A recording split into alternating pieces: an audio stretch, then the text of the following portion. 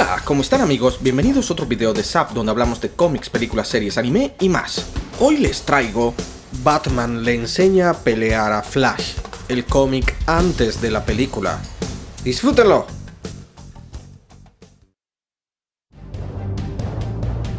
Un gigantesco villano llamado Girder estaba robando un banco en Central City, pero rápidamente es encarado por Flash, quien de inmediato se sorprende por el tamaño del villano y el hecho de que todo su cuerpo está cubierto de metal. Barry comienza a lanzarle cientos de golpes en pocos segundos, pero lo único que consigue es que sus manos queden destrozadas y luego el villano lo mande a volar de un solo golpe.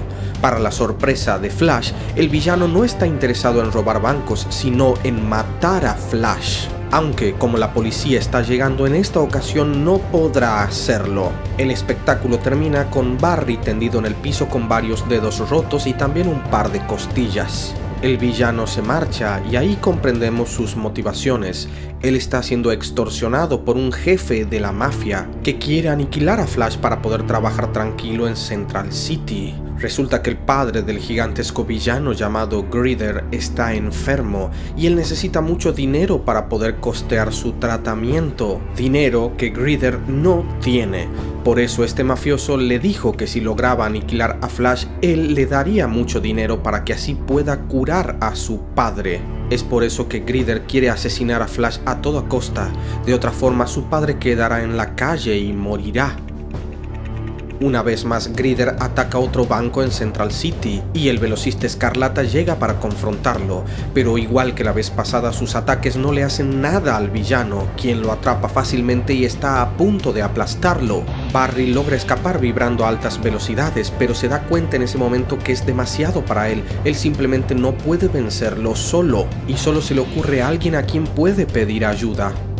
En pocos segundos él llega a Ciudad Gótica donde encuentra a Batman que acababa de capturar a unos villanos. Bruce le pregunta qué hace por su vecindario.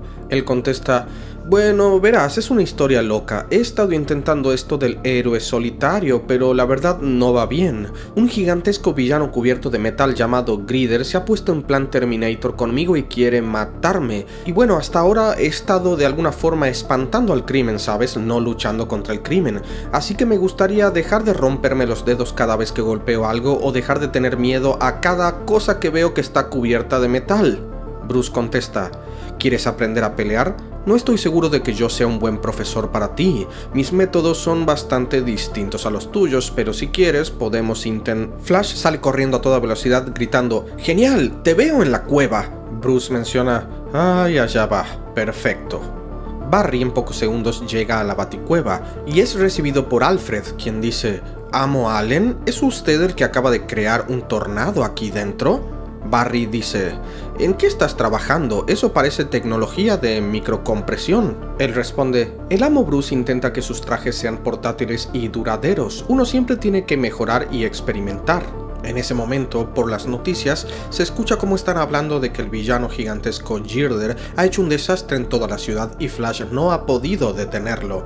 En ese momento, Bruce llega a la baticueva mencionando, Barry, me alegra ver que todavía sabes cómo llegar. Él pregunta, entonces, ¿cómo vamos a empezar? ¿Judo? ¿Krav Maga? Él contesta, si quieres mi ayuda, tenemos que empezar por lo básico, Barry. Dime, ¿sabes dar un golpe? Poco después, ambos están en el gimnasio de la mansión Wayne. Barry está leyendo un libro de boxeo a toda velocidad. Bruce le pregunta, ¿quieres aprender a pelear? Pues bien, pero primero respóndeme una pregunta. ¿Eso es lo que de verdad te preocupa? Porque la verdad no me lo creo. Él responde, Después de lo que pasó con mamá y papá quise ayudar a la gente, pero no puedo ayudar a la gente si estoy todo el tiempo muerto de miedo. Bruce le lanza un golpe que Barry esquiva y dice, Está bien, empecemos, pero no aprenderás nada si sigues dependiendo de tu velocidad. Él responde, Es cierto, lo siento, es un reflejo. Solamente estoy preocupado, ¿y qué pasa si no estoy hecho para esto? Bruce lo silencia de un golpe y menciona, menos preguntas y más mantener la guardia alta. Durante los próximos minutos, Bruce le da una seguidilla de brutales y certeros golpes al velocista, quien enfadado dice, te pedí que me enseñaras a pelear pero no que me torturaras hasta la muerte. Él responde, no habrá tiempo para quejas en una pelea de vida o muerte, la gente estará en peligro y va a necesitar de ti. Ahora escarba hondo y encuentra ese impulso y enséñame de qué estás hecho. Flash, furioso, se descontrola, empieza a correr a toda velocidad mientras dice, ¿quieres saber de qué estoy hecho, Bruce? Pues, ¿qué tal esto? Tomando un gran impulso, él golpea una de las bolsas de boxeo, destruyéndola y también la pared de detrás de ella. Confundido, Barry pregunta, eh, ¿cómo, ¿cómo hice eso? No tengo ni siquiera un rasguño. Bruce menciona, no puedo decir lo mismo de mi pared. Debiste alcanzar una velocidad supersónica que alteró las moléculas de tu cuerpo. Barry continúa, haciendo mi puño más denso.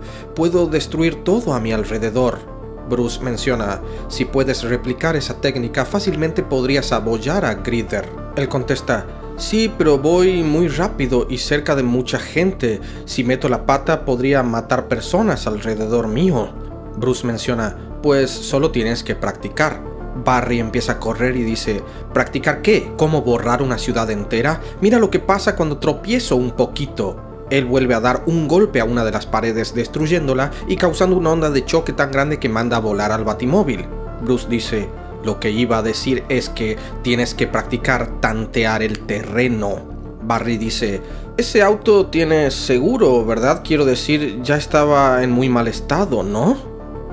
Al mismo tiempo, Grider ataca otro banco en Central City y en vez de robar, empieza a atacar a la policía y a decirles que de inmediato llamen a Flash. Él no tiene tiempo que perder.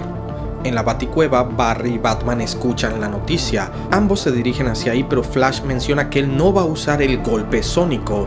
Batman le dice que debería hacerlo. Si quiere salvar vidas, tiene que tomar riesgos. Mientras corre, él contesta que no si eso pone en peligro a otros. Volviendo al banco, Grider estaba a punto de matar a un policía, pero este es salvado por Flash. Por el comunicador, Batman le menciona que no tenga miedo, que se concentre y dé el golpe, si no más gente saldrá herida. Pero él se niega, simplemente peleará a la manera antigua, pero Grider lo manda a volar de un poderoso golpe, que es suficientemente fuerte para escarmentar al velocista quien sale corriendo fuera del banco. Grider le menciona que es un cobarde y que salga a pelear pero los policías comienzan a dispararle al villano, quien amenaza a Flash diciendo que si él no sale a pelear matará a los policías. Barry no quiere que eso suceda, pero al mismo tiempo tiene miedo.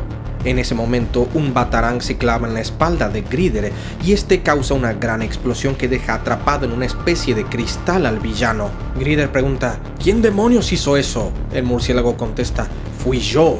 Ahora quédate ahí si no quieres acabar en el vertedero de Central City. Bruce de inmediato se dirige hacia Barry y le da la mano para levantarlo diciéndole, de pie Flash. Él pregunta, ¿Flash? ¿Ves a Flash en algún lado? Flash se fue. Soy un fracaso. El traje apenas resiste, está destruido. Nunca debí intentar esto por mi cuenta.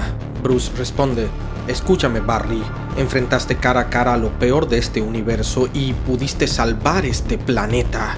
Viniste hasta aquí corriendo sabiendo que podías perder esta batalla. Los fracasados no hacen eso, los valientes sí.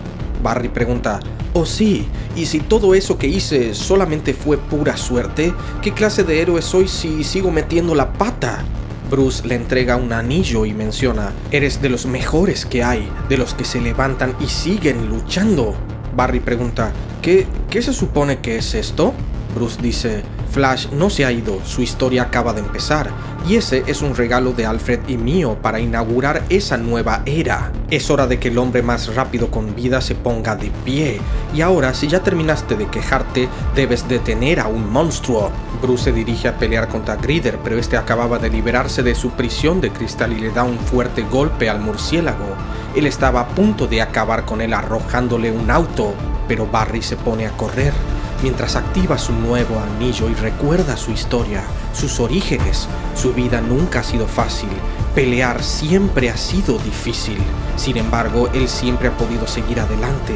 Lo único que tiene que hacer es seguir corriendo. Barry se pone su nuevo traje y parte por la mitad del auto que Grider estaba levantando, dejando confundido al villano. Barry menciona, ¿qué sucede, Grider? Actúas como si nunca hubieses visto a Flash. Bruce le dice, te demoraste mucho. Él contesta, estaba tanteando mi terreno. El villano lo ataca diciendo, ¿por qué no te mueres? Si no me pagan, mi padre será el que termine dos metros bajo tierra.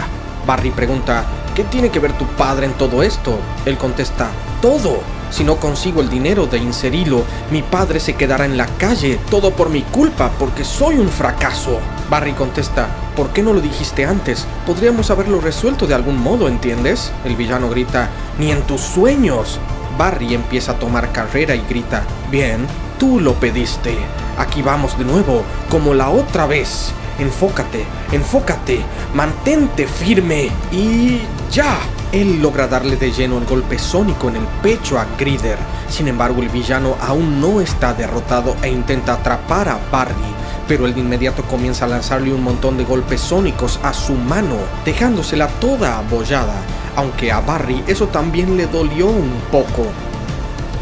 Diez minutos después, vemos como Grider ya fue capturado y está siendo metido en el camión por la policía. Viendo todo desde una azotea, Barry le dice a Bruce, gracias de nuevo, ya sabes, por la ayuda, y muchas gracias por el nuevo traje. Esta cosa es increíble. ¿Viste esos golpes que le di? Y ni un rasguño en esta cosa. No podría haberlo hecho sin ti. Batman contesta, los golpes, ese coraje, fue todo tuyo. En verdad no me necesitabas, Barry. Barry contesta, hablando de eso, hay una cosa que necesito de ti. Bruce pregunta, ¿qué es lo que tienes en mente? Poco después, en la cárcel, Grider menciona, Oye, guardia, todavía no me dejaron hacer mi llamada. Flash se presenta frente a su celda diciendo, Hey, ¿qué tal va? Él responde, Oh, pues muy bien, y todo gracias a ti. Mi vida y la de mi padre han acabado. Para el fin de semana él ya estará en la calle. Barry responde, pues yo no estaría tan seguro de eso. Indagué un poco y encontré un donante anónimo que ayuda a casos como los de tu papá. Y no te preocupes, sus gastos estarán cubiertos por ahora. Grider, confundido, pregunta, ¿y por qué harías eso? Yo intenté matarte. Barry contesta, porque sé lo que es estar hasta el cuello y querer ayudar a tu padre. Trato de mejorar en esto, ojalá tú también puedas intentarlo. El villano contesta, Em, sin promesas, pero gracias, Flash. Barry se va corriendo y sube hasta una azotea donde estaba Bruce, quien le dice, ¿salvando al mundo un alma a la vez? Él contesta, es un comienzo, ¿no? Puede que no sea la manera en la que otros héroes lo hacen, pero si esta es mi nueva era, pues lo haré a mi manera, ¿sabes? Además, tengo que aprovechar el tiempo que ahorraré ahora que no tengo que irme a casa a cambiarme. En ese momento una explosión sucede cerca. Bruce dice, el deber llama, hora de ponerse en marcha. Barry pregunta, ¿quieres que te espere hasta que te pongas el traje? Él contesta, adelántate, no voy a retrasar al héroe de Central City. Flash menciona, supongo que es un trabajo para el hombre más rápido con vida. Bueno amigos, hasta aquí llegó el video, espero que lo hayan disfrutado mucho, no olviden darle like, compartirlo, también suscribirse al canal y por supuesto visitarme en Facebook y Twitter. ¡Hasta pronto!